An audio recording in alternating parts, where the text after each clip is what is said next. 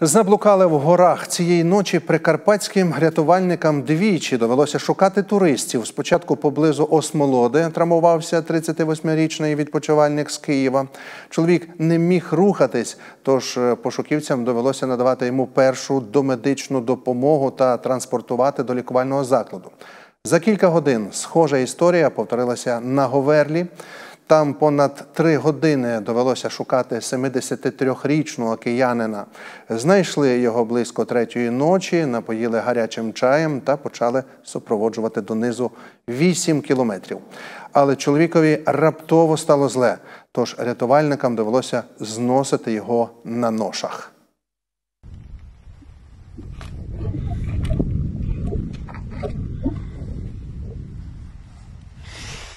Так, знов крок робимо.